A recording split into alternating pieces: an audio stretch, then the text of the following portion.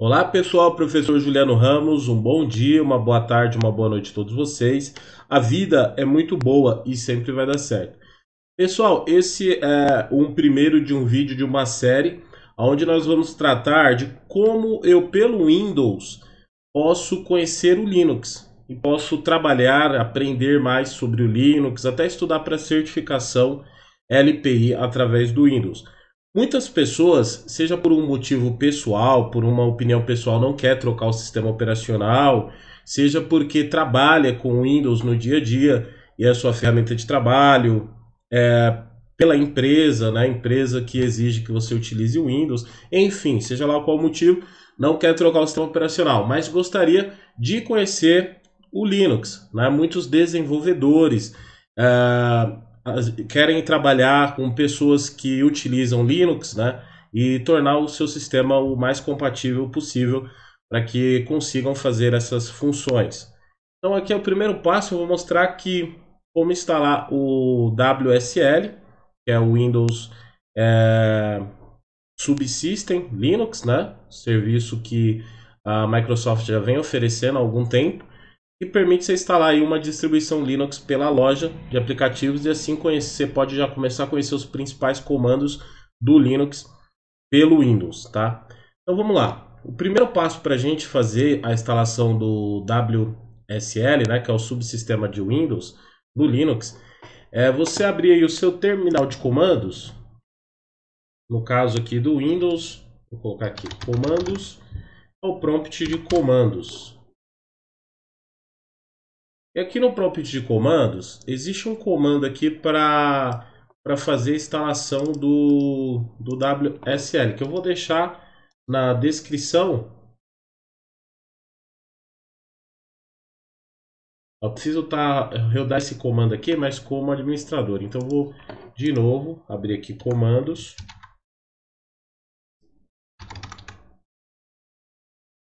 É o prompt de comando só que executar como administrador. Pronto. Uh, eu vou deixar o comando na descrição, né? Porque aí a gente não precisa digitar o comando. Pronto. Esse é o comando. Ele vai, ele vai fazer a instalação aqui do WSL. A instalação foi, foi concluída. E agora eu preciso fazer a reinicialização do Windows para prosseguir fazendo a atualização para o WSL2. Aí esse é o WSL1. Muito bem, acabei de fazer a reinicialização aqui do Windows. E agora eu vou prosseguir para fazer a atualização para o WSL2. Tá? Então a gente primeiro vamos verificar se você tem a, a build acima da 19041. Tá? Então é só clicar aqui no Windows, digitar WinVer e abrir esse executável. Uh, tem que ser ah, 19041. Então essa, essa build já funciona o WSL2. Tá? Então o que, que eu vou fazer? Vou abrir o prompt de comandos. Então vamos digitar aqui comandos novamente.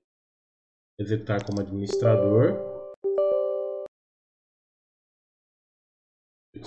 E aí nós vamos digitar um outro comandinho aqui, que é para habilitar o componente de máquina virtual que precisa para o WSL2.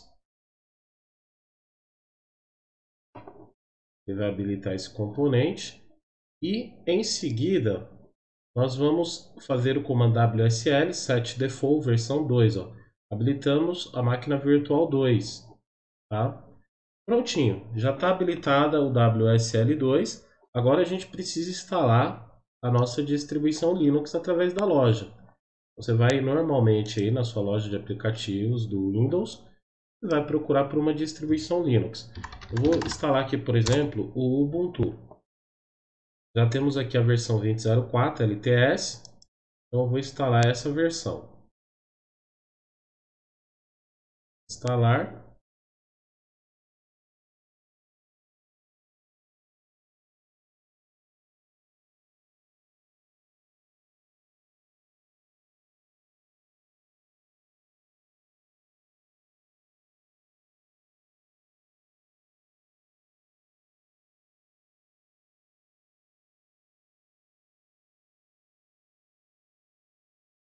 Uma maneira né, mais fácil de nós administrarmos é, essas máquinas que a gente roda aí no WSL é usando o terminal, é, o novo terminal aí do Windows. Então, a gente já procura aqui, já vamos instalar o terminal Windows.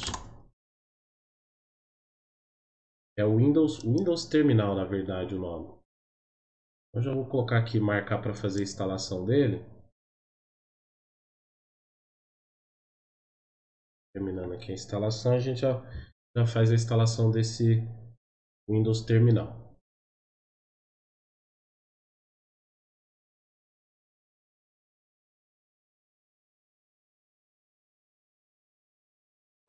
Prontinho. Agora aqui no seu menu iniciar, você vai ter o Ubuntu. Vai fixar ele ali no iniciar e vou fixar aqui o Windows Terminal.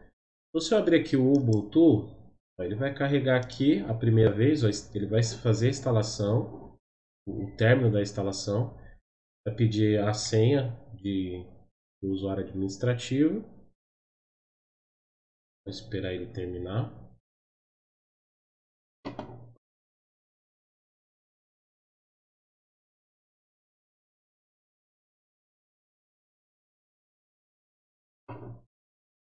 Prontinho, tá pedindo a senha. É, na verdade é o nome de usuário. Eu vou colocar o Juliano. E agora sim.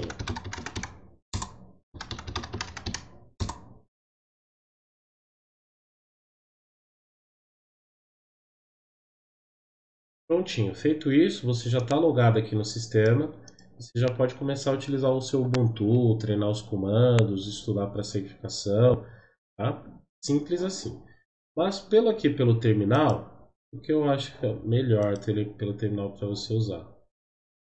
Pelo terminal você vem aqui, clica no mais, na setinha, e escolhe aqui qual o sistema que você quer utilizar. Então na setinha aqui, escolhe aqui o Ubuntu 20.04. Tá? A vantagem é que aqui, uh, aqui é mais fácil para você personalizar, né? Você vê aqui configurações, é, vai abrir aqui o, o arquivo, né? JSON você pode colocar temas e tudo mais e você consegue administrar normalmente. Então aqui já está seu Ubuntu, ó, vou rodar aqui o, o sudo apt-get update para atualizar os repositórios.